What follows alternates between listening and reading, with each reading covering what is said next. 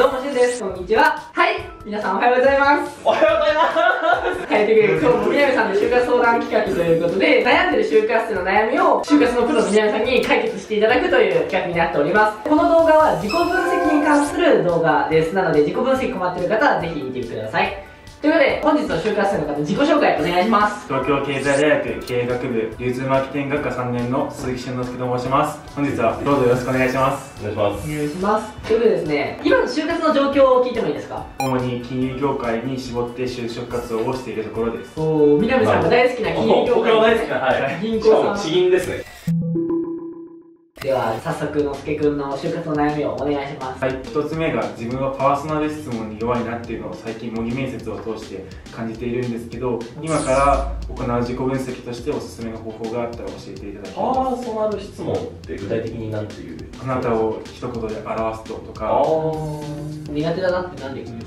た確かあの自分でその質問リストを解いていく中でどこで詰まるんだろうって考えた時に志望動機や学歴や自己 PR っていうところよりかは人間性を聞かれる部分がスッと答えが出てこないなっていうのがあったのでこういった相談をさせていただきました。周りからどんな風に言われるんでしたっけ周りからは真面目や、まあ、責任感が強いというふうに言われることが多いです、僕よく信頼で言ってるんですけど、要は就活って過去現在未来を一貫して私はこういう人間ですって伝える作業ですと。過去っていうのが学者で,、はい。で現在が自己 PR 今私の持ってる武器は何ですっていう。未来っていうのは志望動機。はい。さっきの質問で、あなたを一言で表すこととか、あなたの嬉しかったことっていうのはまあ過去の話じゃないですか。過去のことを深掘るっていう意味では、学知化と結構近しいものだと思うんですけど、質問の仕方が違うだけで、聞いてる内容は全く同じっていう。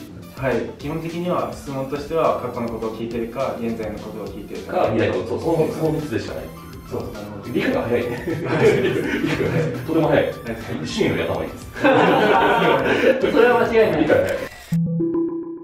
自己分析とかってどういう感じでされてるんですか？自分史だったりモチベーショングラフだったりっていうのをやって今現在に当たり前に2回ほどやったんですけどそれでもまだ答えられないなっていう印象です、要はあなたという人間が嘘なしで本質の部分を聞きたいっていう話なんですね、はいでモチベーショングラフで一番大事な部分って、はい落ちた時なんですよここの挫折とか壁にぶつかった時にどういう思考回路でどういう行動をしてどういう感情を持つかっていう部分ここが一番大事なんです。逆に上の部分ってあんまどうでもよくてこの下の部分がすごい大事なんですね、はい。ここに俊之介君の本質的な人間性が出るはい。のですよ。そのモチベーションの源泉を企業は知りたいわけですはい。だから企業採用したときにちゃんと自分たちの仕事をやる気を持って取り組んでくれるかどうかっていう部分そのモチベーションの元っていう部分がマッチしてるかどうかっていうのを見てるっていう、はい。落ちたら落ちたら合わなかったから入社したら不幸になったら落ちてラッキーだったなって思えばいいかなってはい。わかり思います、はい。ここをもっと深掘りすればいいんじゃないちなみにドーンって落ちたのって何？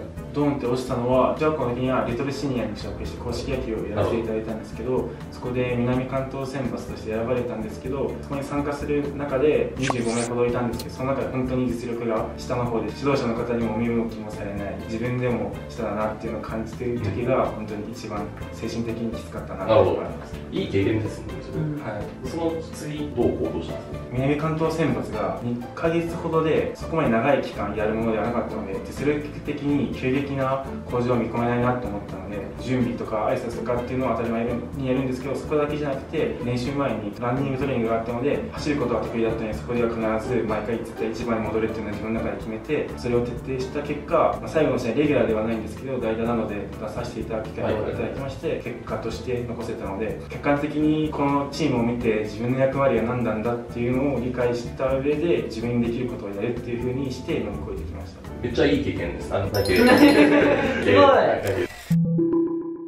大事な部分は自分で目標を決めてその目標に向かって努力できる人間ですっていうのを言えればいいかなと思っていてでそれって多分高校も大学も多分その軸って同じなんじゃないかなと思うんだけど、どうそうですね。基本的には変わりまあのまあ自立する力があるというか、はい。やっぱストイックに努力するっていう能力それは素晴らしいと思いますけど、はい。自信持ったらいいんじゃない？はい。ありがとうござい。ますすごい皆さんに言われるとすごい。確かに説得力あります説得力あるいつも怒ってるからだってあの辛いの分かるから俺も。あのやっぱ部活でさ高校大学で満足してしまって努力をやめてしまった人とそれでも努力を続けた人ってやっぱり30歳になってもう全然差がついてくるし逆に逆転しちゃうしコツコツ努力してればいつか必ず逆転するっていうはい。思いを持って努力し続ければいいんじゃない？ですかははい。じゃあその自己分析がしきれてないっていうところで言うと、は特にモチベーションが下がった時のはい。分析とかをより深掘りしてもらうと自分への理解が深まるっていうことですすね。ね人間の自分自身の本質が出るってことではい。確かに苦しい時に人の本質で出ますね。出る出るそうそうそうそう。それがなんか自分自身の本質です。受かりそうな感じ。受かる受かる。100%受かる。